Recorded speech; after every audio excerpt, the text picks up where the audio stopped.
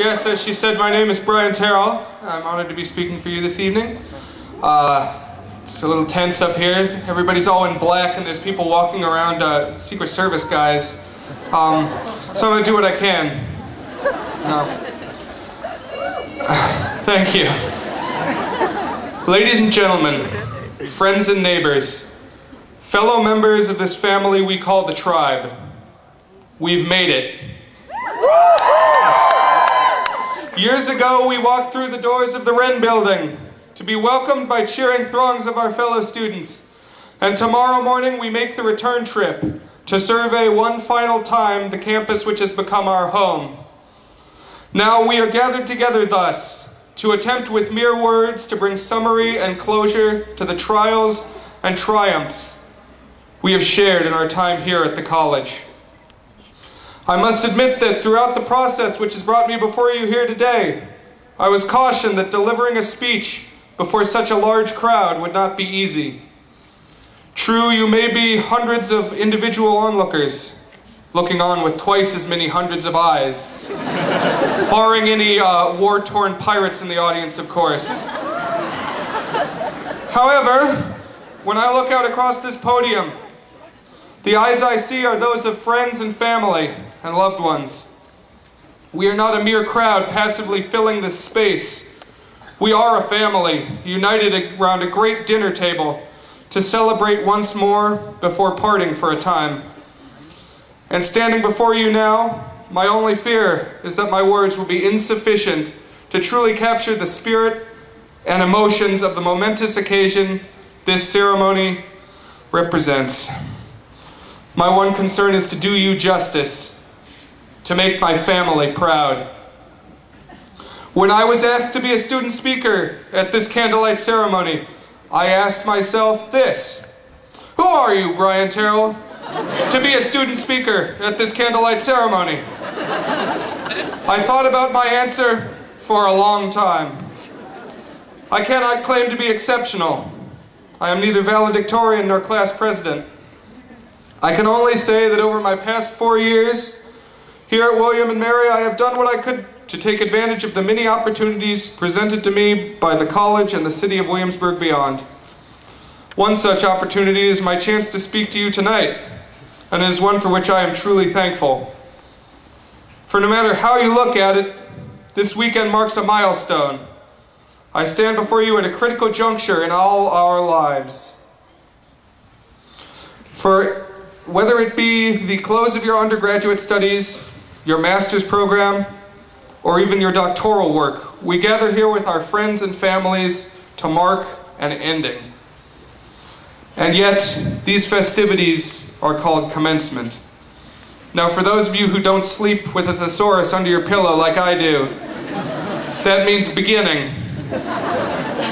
Though for many of us, our time here at the college has indeed come to an end. Today also marks a jumping off point, a new start, the proverbial first day of the rest of our lives. For many, myself included, this is a daunting prospect. But have no fear, for though we may come to live in widely disparate locations and hold vastly different occupations, there is one thing we will always share. In the words of Sheik, Princess Zelda's alter ego, in the Nintendo 64 classic, The Legend of Zelda, The Ocarina of Time. The flow of time is always cruel. Its speed seems different for each person, but no one can change it. But a thing that doesn't change with time is a memory of younger days. Wherever we may be and whatever we may do, we will always share our memories of our time here at the College of William and Mary. Thomas Jefferson walked these grounds. Jon Stewart walked these grounds. You and I, we walked these grounds. And just like Jefferson, we are all part of the story of Williamsburg. Never forget that. But now is time for a parting. Ahead of us waits the future, full of possibility. And in the words of Dr. Emmett Brown at the close of Back to the Future, Part 3, your future hasn't been written yet. No one's has. Your future is whatever you make it, so make it a good one. And finally, in the words of Brian Terrill, to my fellow members of the William and Mary graduating class of 2012, good luck wherever life takes you. My time at the college has been an incredible ride, full of people and experiences I will never forget. Thanks for taking the ride with me. And now, to show my thanks, to give something back to the people and institutions which have given me so much, I would like to recite a short poem of my own composition, which I hope will accurately capture the spirit of our gathering here today. Now, this poem may or may not have anything to do with the fact that I went to see the Lorax immediately before composing this speech. now, here goes.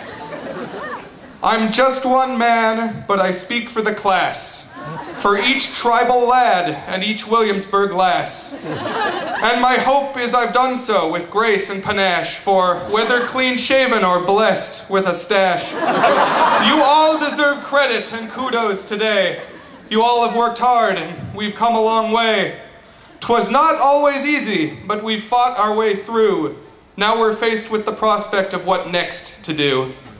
But if ever uncertainty's gotten you down, I hope you think back on our old college town of Williamsburg, where we were given the tools to blaze our own trails and write our own rules. May this memory endure, though the days and years pass. I thank you for letting me speak for the class.